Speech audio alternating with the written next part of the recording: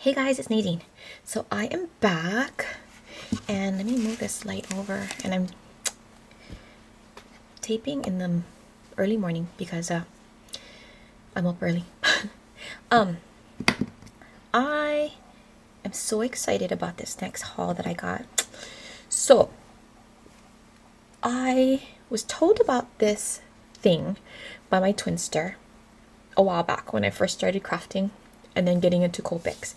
But when I looked for it, the company had closed down. Well, now the company is back and they're selling their product again. And so let me show you guys what it is. And I haven't even unboxed it yet.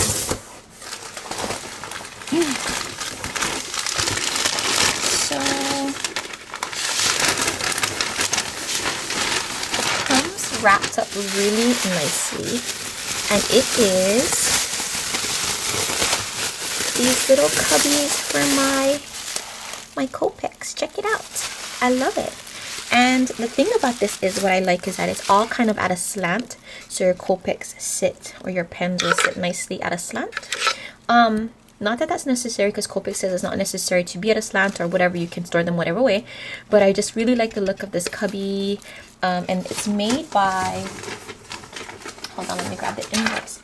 It is by Studio 3 Solutions and each cubby was um, I think 18 something, almost $19 a cubby. And I got three cubbies. And in each cubby, there are one, two, three, four, five, five slots. Um, I don't need three just yet, but I don't want to be without because um, you can put not only your Copics in here, but I'm going to put my Tim Holtz Distress markers, my Stampin' Up! markers, um, stuff like that. So I'm so excited about this.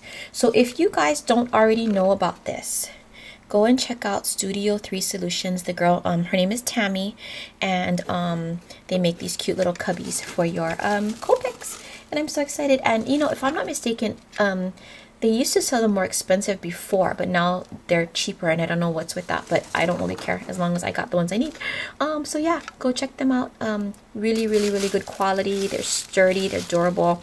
A lot of people have had this in the past. Studio, um, Studio 3 Solutions is back in business, so go pick this up because I don't know if they're going to be back in business, you know, for good or what the deal is. Um, so if you guys need cubbies for your Copics or your markers, make sure you go check them out.